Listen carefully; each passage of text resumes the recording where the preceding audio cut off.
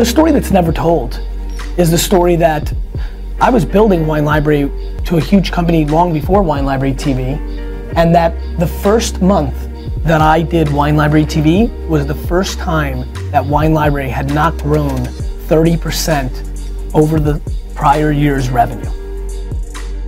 So not only did I have the patience to let it play itself out and win, it was a scenario where I was actually losing money by being patient. Many of the people that are gonna watch this video are not achieving what they want and are lacking the patience and think everything happens overnight. And that is coming at the cost of an unhappy life or no loss financially, just loss in time. Just coming at the expense of Angry Birds or House of Cards marathons or the bowling team or hanging out with friends and having a beer, or reading a magazine, or whatever the hell gets you off and excited as a hobby.